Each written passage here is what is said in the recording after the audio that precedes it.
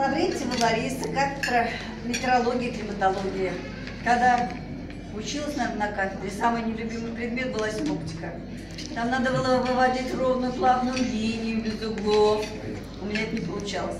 И мне не хотелось. Но как обычно, что не хочется, то получаешь. 30 с лишним лет я отработала синоптиком. Познала. Да? Судьба, наверное. Погода не какая-то, линии плавные. Да.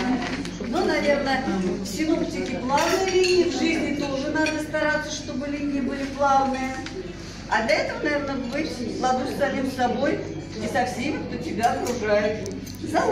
Спасибо.